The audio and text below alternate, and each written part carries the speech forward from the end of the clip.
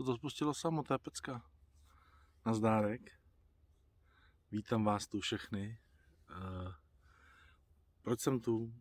Teď vám sem dám tři takový malý krátký videa, který jsem dneska cestou já vám nebudu říkat, kde jsem je natočil. To se dozvíte v tom, v tom videu. Ale předem říkám, že je to prosím vás udělaná parodie, jo? takže bych nerad nějaký hloupý komentáře a takový, přemýšlím, že možná komentáře úplně u toho z toho vypnu. Ale to, co se teď tady děje v té České republice, to, co předvádí váš ministr, uh, ne ministr, co to je, váš premiér vlastně, není ani ministr. To, co převádí váš premiér, protože můj premiér to určitě není, já určitě na to nejsem hrdý, co on udělal. Myslím si, že tím ohrozil mraky lidí, počínaje od toho jejich hra, uh, herce, co mají na Ukrajině, tak počínaje ním až po Českou republiku, protože si myslím, že tohle to se nedělá. Já když jsem viděl, když jsem se vracel v jeho prohlášení na tiskové konferenci, jak se tam smál, jak je snad ještě hloupej, že ještě se sám tomu směje, co vlastně udělal, že tam měl na vlastní nebezpečí, že rodičům, nebo rodičům, že ženě to nechtěl říkat. To je taky vlastně otázka do jisté míry strategická. Tentokrát se to netýká bezpečnosti země, ale mé rodiny, jako ve smyslu ne bezpečnosti, ale nějakého vnitřního klidu. Tak nevím, do jaké míry mám odpovědět do detailu, ale eh, odpovím vám. Eh, řekl jsem to eh, své manželce, ale požádal jsem ji, aby to dopředu neříkala ani mé mamince, ani mým dětem. Ty se to dozvěděli až ve chvíli, kdy jsme byli Eh, když se to zveřejnilo eh, obecně. Jsem to nechtěl říkat nikomu. A neposlouchal ani žádný bezpečnostní složky, jako ten slovenský, nevím, jestli jmenuje Heger, nebo já nevím, jak se jmenuje.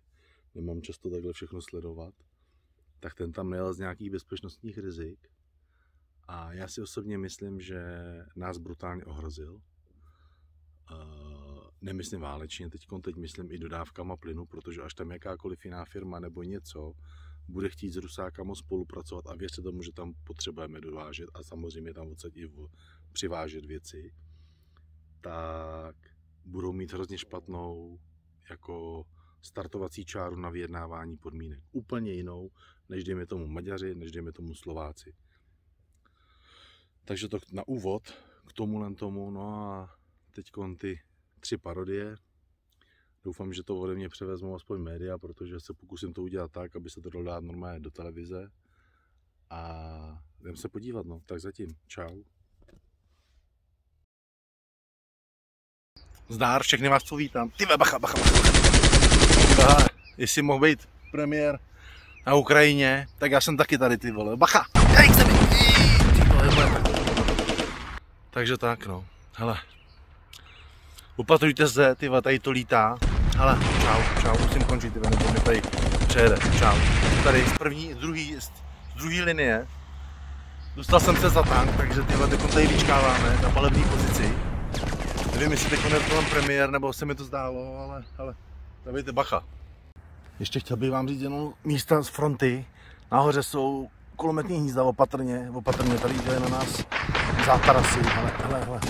Ještě se přihlásím pro teda. Čau, čau, čau, čau, čau. Tady za mnou vidíte připravený uh, tyhle ty zátrasy, aby tady nemohly ruský tanky projet. Za mnou to hlídáme. Uh, teď jsme odsaď dostali premiéra, takže pro všechny televize můžete mi tady teď dát a dejte si hlavně pozor, pozor. Kde mi, kde mi, jo, jo, pacha, hele. Ty no kluci, co vám mám říkat, ty no. Udělám tady odsaď pár fotek asi. Čau, čau, čau. Večer ve zprávách, večer ve zprávách. Tak jsem to ještě jednou. Teď jste to viděli, ty tři krátký videa. Osekal jsem je ještě navíc. A co tomu říkáte?